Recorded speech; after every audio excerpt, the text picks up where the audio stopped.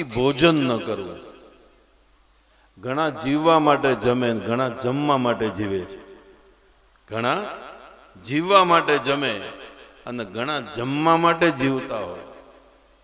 આમ તો શાસ્ત્ર એમ કહે છે કે એકવીસ વર્ષની ઉંમર થઈ જાય ને, પછી બે વાર ભોજન કરવું જોઈએ.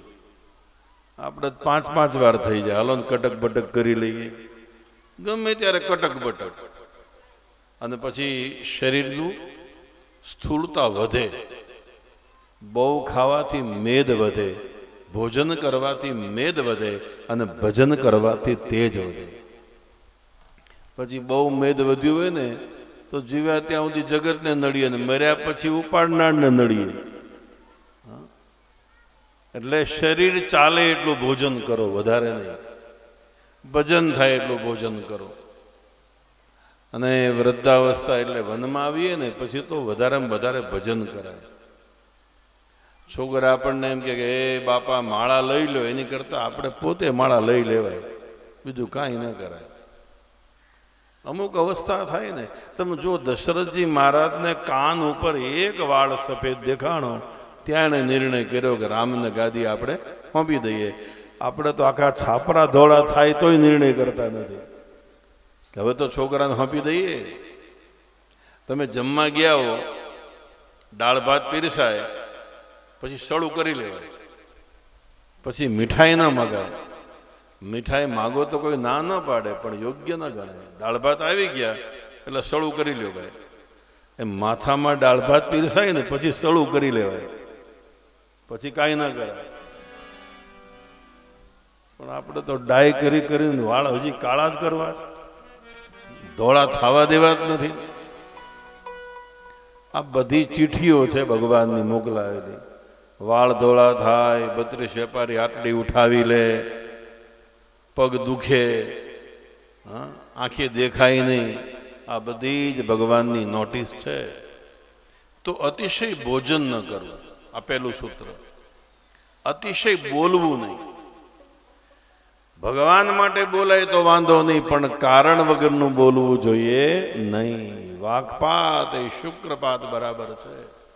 અતિ ભોજન નહીં, અતિ બોલવું નહીં, અતિ ક્રોધ ન કરવો. અતિ ક્રોધ કરવાથી યૌવન ધીરે ધીરે ધીરે ક્ષીણ થઈ જાય. પછી અતિ ચાલવું નહીં.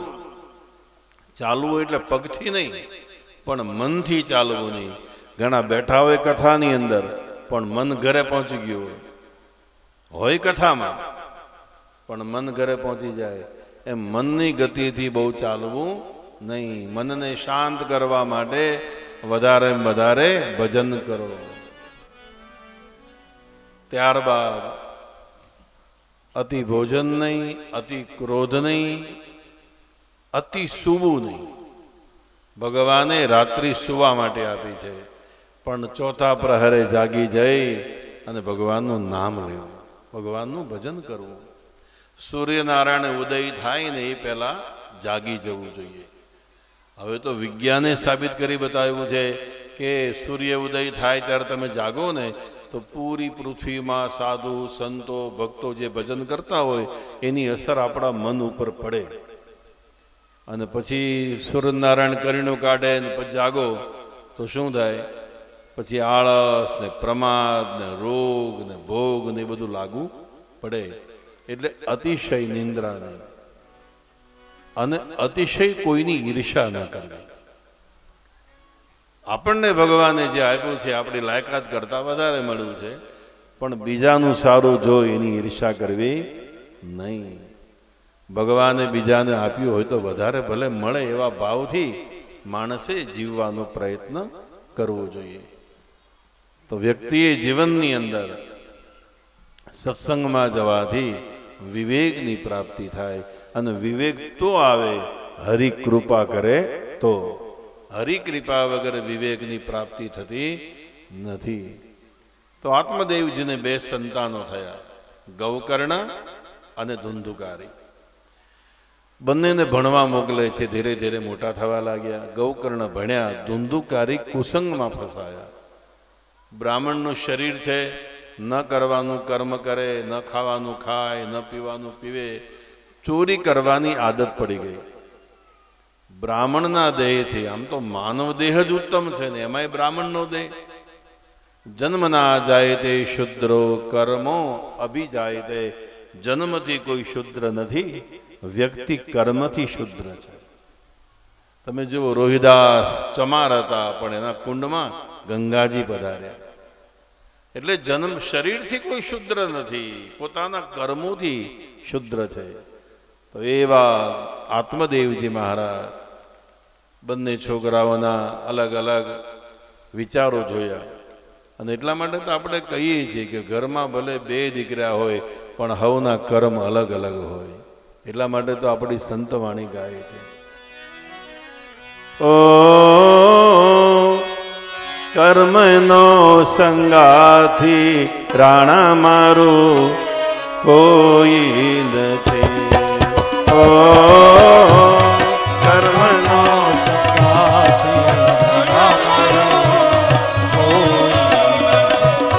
કે લખ્યા એના જુદા જુદા લે કે લખ્યા એના જુદા જુદા લે ઓ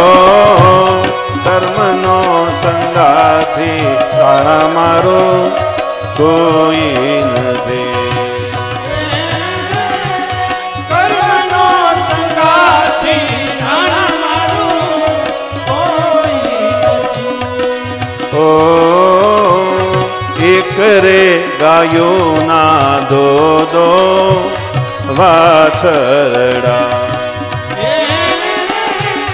એક રે ગાયુના દોનો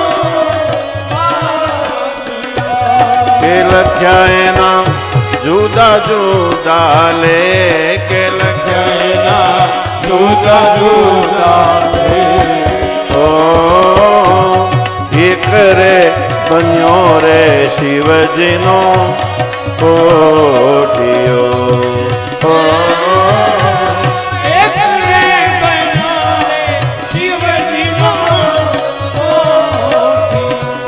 કે બીજો ઘાંચીડાને ઘેર બીજો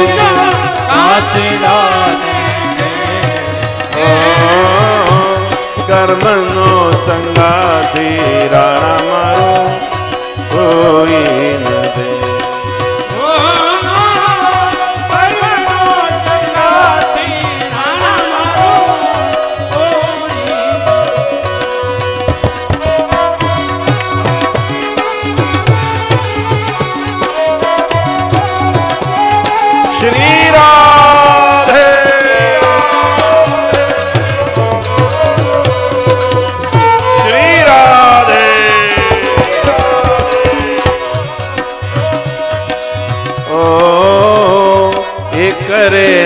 માતાના દો દો ભેટડા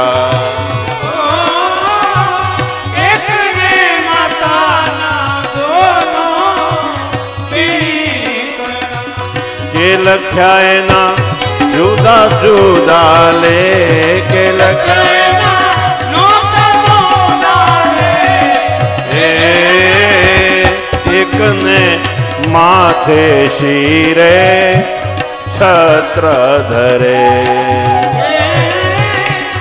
એકને માથે શિરે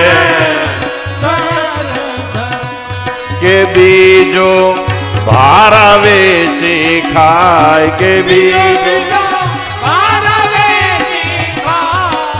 ઓ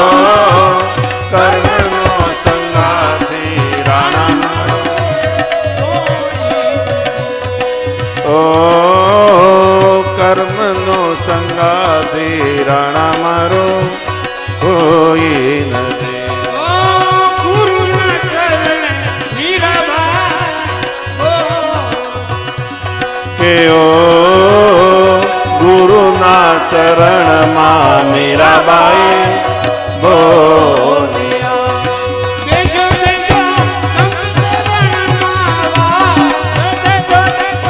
સંત ચરણમાં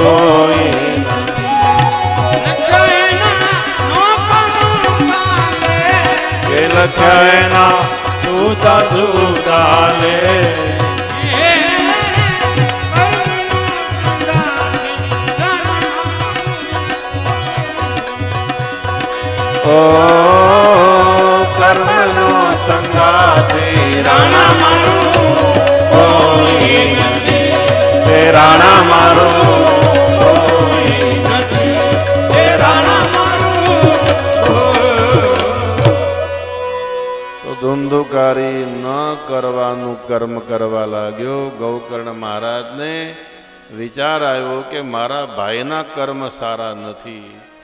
એટલે મારે ઘરમાં ન રહેવું જોઈએ. ગૌકર્ણ મહારાજ યાત્રાએ નીકળ્યા અને હવે તો આ ધુંધુકારી પાપ કરવા લાગ્યો. પાંચ સ્ત્રીઓમાં ફસાયો ધુંધુકારી. એકવાર સ્ત્રીઓએ કહ્યું કે રાજાના નગરમાં જઈને ચોરી કરી ખજાનો અમને આપને. એટલે પેલા ધુંધુકારીએ સ્ત્રીઓનું માની અને રાજાના નગરમાં ગયો. ખજાનો ચોરી અને પેલી સ્ત્રીઓને આપ્યો. સ્ત્રીઓને એમ થયું કે હવે આ ધુંધુકારી પકડાશે તો રાજા આપણને મારશે. એના કરતાં આને જ મારી નાખો ને. એટલે પાંચ સ્ત્રીઓ ભેગી થઈ ગળે દોરડું બાંધ્યું, ધુંધુકારીના મોઢામાં અગ્નિ નાખ્યો અને માંડ માંડ જીવ ગયો. અને આવો ધુંધુકારી પ્રેત બન્યો. ધુંધુકારીનું મૃત્યુ થયું. હવે તમે જુઓ કેવી સારી કથા છે. ધુંધુકારી પાંચ સ્ત્રીમાં ફસાય છે. હવે પાંચ સ્ત્રી કોણ છે?